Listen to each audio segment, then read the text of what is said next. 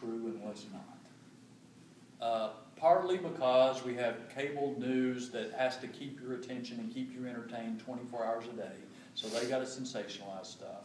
We've got the internet where everybody with an opinion sends stuff around, and once things get going, they never stop. What was, somebody said, or I read this somewhere, that we all like to hear that we're right, and on the internet, there's always somebody who will tell you you're. Uh, because there's just all sorts of information all, all the time. And, and, and so I really do think this is one of the biggest challenges we face in our society is how do you figure out what's true and what's not? I can't tell you how much of our time is spent responding to emails or calls, people upset, concerned about something. And, and just, we'd have to figure out, okay, what part of that's true, what's exaggerated, what's out of context, and just try to sort through what, what, what the truth is. Um, it, but we all face this, this challenge. So, so one of the things I try to do is I do send out email newsletters every once in a while.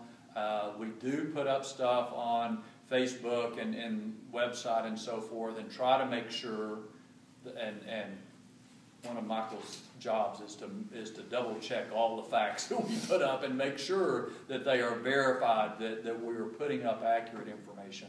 Uh, but I understand we're all bombarded with this stuff all the time. And I'm still getting emails about some bill introduced by some congressman that never existed, you know, is a number that never existed, but it was some sort of terrible tax on something or another. And, and it just, and it's been going on for years.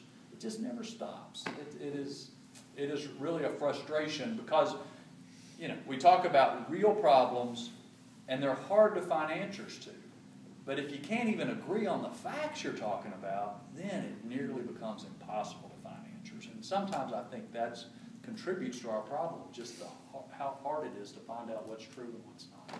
I'm sorry, that's a soapbox. You know, y'all didn't pay for it, but. Uh, Would you remind them if they want to sign up for the Oh. e-newsletter, I have the little cards back